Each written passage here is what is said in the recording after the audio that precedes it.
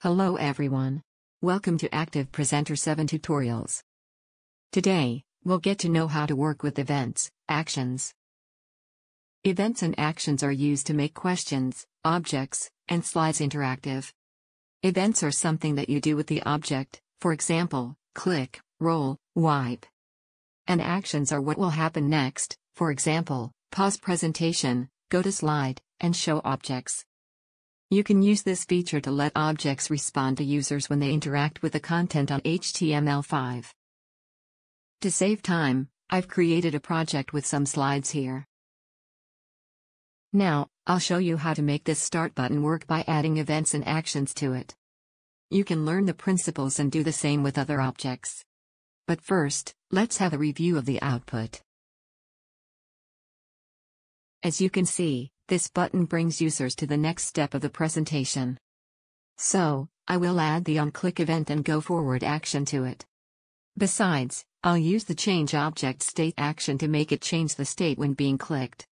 First, select the button. Then go to the Events, Actions section of the Properties pane. To add events, you can click one of these two Add Event buttons and select the event you need.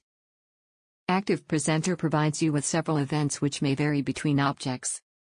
The button object can have up to 8 events, including both mouse and touch ones.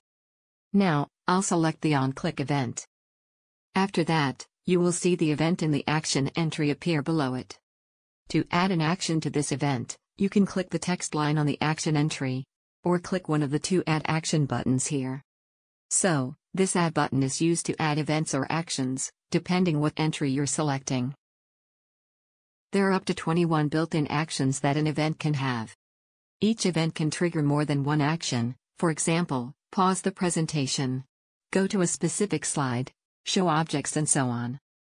If you want to create more advanced interactions with actions, you can write JavaScript functions. I'll select Go Forward and define which slide the presentation will jump to. and add one more action to change the button state.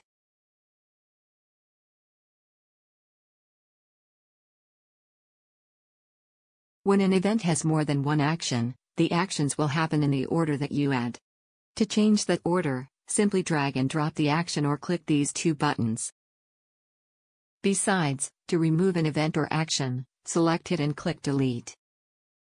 In addition, you can define the conditions for an action to happen. For example, you can set the condition for the next button so that users have to complete a question before moving to the next one. For more information, refer to the video adding conditional actions.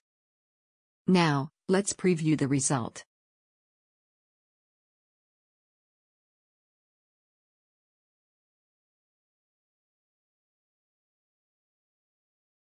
So, when I click the Start button, it changes the state and the presentation goes forward two slides.